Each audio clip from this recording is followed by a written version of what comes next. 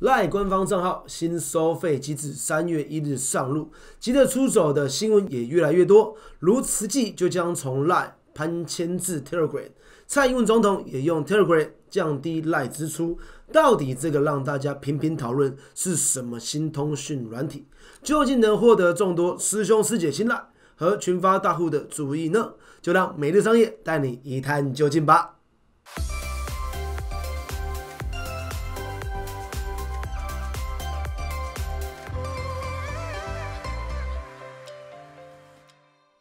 焦点观点 Plus Daily Commercial 每日商业十分钟交流一个商业观点，我是阿峰。我们今天的报道来源是刊登在二零二零年一月二十二号所撰写并刊登在老猫侧山 C 的 Lie 越来越贵，搬迁 Telegram 降低费用，醒醒吧！不是所有行销都适用。Lie 推出 Lie 官方账号后，旧版的 Line at 即将停用。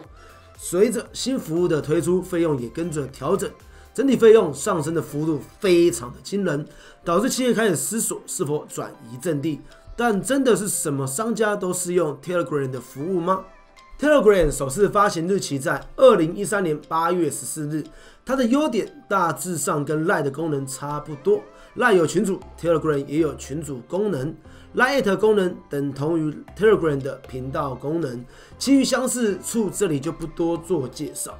现在大家来看看 Telegram 出色的六大优点：一、讯息永久保存，进入群组后也可以查询到进入群组前的所有讯息，不会因为后进而不知前面发生什么事情。二、几乎无限制档案传送的大小，其他通讯软体会限制档案大小。如图片不可超过三 MB，影片不可超过两百 MB 之类的，但 Telegram 只限制单一档案不能超过五 GB。三群组功能支援到二十万人，Line 目前群组功能只能支援上线到五百人。四高度安全性，使用点对点加密，讯息不会被储存到伺服器上面，也可设定讯息时效性，时效超过就自行销毁。五多平台云端同步，同时支援 Android、iOS、Windows、Mac OS 等系统，任何平台都可以登录。因为具有跨平台同步功能，所以就算遗失手机也不会遗失讯息。六、杜绝色情，在 Line 泛滥的色情图片或影片群组，在 Telegram 群组是不容许发生的。目前正在 iOS 苹果系统严格执行中，日后 Android 有机会跟进。Telegram 有提供检举功能，有任何群组或频道被检举后会被标记，被标记后则无法在任何 App Store 下载的城市中查看聊天室内容。会如此严格，是因为 Telegram 曾因不适当的内容为由，在 App Store 中被下架，所以在苹果系统中对涉及内容的管制更加严格。Telegram 也是骇客的最爱加密通讯软体。因为其加密的特性，使得讯息受到了保护，无法被监听。在去年香港开始进行的反送中活动里面，Telegram 也扮演了很重要的角色，是参与运动的人士的必备通讯软体。Telegram 可以帮助人们避免被监控。以上特点都让 Telegram 在众多的通讯软体脱颖而出。但你真的适合转移到 Telegram 吗？虽然 Telegram 有以上众多出色的优点。但并非人人都适用，因为赖官方账号的收费调整后，收费并不便宜，所以实际的迁移可能是成本考量。如果你是抱持着成本降低的考量而转移到 Telegram 上，请好好考虑以下几点：一，Telegram 目前在台湾依然是小众市场，对企业端使用 Telegram 可以降低成本，但对使用者的好处是什么呢？如果没有任何好处，它你的 Telegram 频道将成为僵尸频道。就算再怎么样推波促销讯息，也不会被消费者看到。没有一个消费者装一个 APP 是为了看广告。如果没有长期的诱因，这个 APP 很快就会被消费者遗忘冰封了。二，为何实际考虑迁移 Telegram？实际属于宗教团体，基本上是非常有向心力的。如果使用 Line 官方账号，对百万会员布达资讯将是笔非常庞大的费用。但因为会员有着热爱慈济的使命，所以必定会常常观看重要资讯。身为电商或品牌端或企业主，你有信心消费者会常常打开 Telegram 就是为了看你的促销广告吗？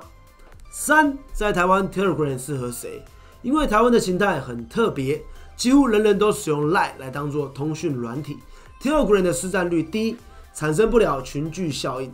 跟 Line 相比，对使用者而言，实在没有太多非用不可的理由。但在有共同兴趣为前提下的类型，肯定会发展的不错。以下打几个比方：A. 宗教型、政治型、频道型的分享群组；B. 旅游型、生活型、教学型的爬文群组；C. 投资型、理财型、技术型的相关群组。另外值得注意的是，这里的宗教使用的是频道。频道等同于 Line，只能单向发送讯息。因为宗教的特殊向向心力，会员不会遗忘 Telegram 时间的关注。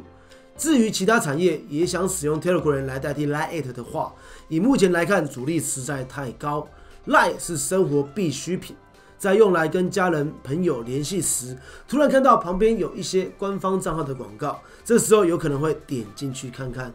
但要叫使用者专门打开 Telegram 来看广告，这难度就非常的高了。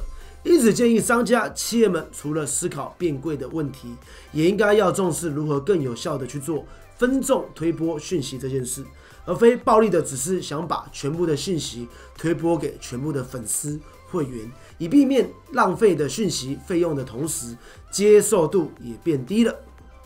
再来就是群主。其实可以互相讨论的群组，特别适合搬到 Telegram，可以不错过任何精彩的讨论，又没有人数上限五百人的限制，真的很适合使用 Telegram。这也就是为何加密货币圈人人都用 Telegram 的原因。赚钱这种事情，人们总是会特别的认真，所以使用 Telegram 群组可以完整保留所有资讯，再加上人数二十万的超高上限，可以同时容纳超多人。这样才不会发生一群讨论了精彩资讯，但二群却完全不知道发生的情形是什么，很适合给经营讨论群组的企业或 KOL 来使用。好的，今天的每日商业就到这边。Telegram 虽然拥有众多强大的功能，再加上实际迁移的议题迅速在行销圈发烧，但行销上终究不是靠新型工具就能立即见效。如何说服消费者转移至 Telegram 才会是最大的前提。如果从 Line 转移到 Telegram 却无法让消费者得到更多的好处，终究会转移失败。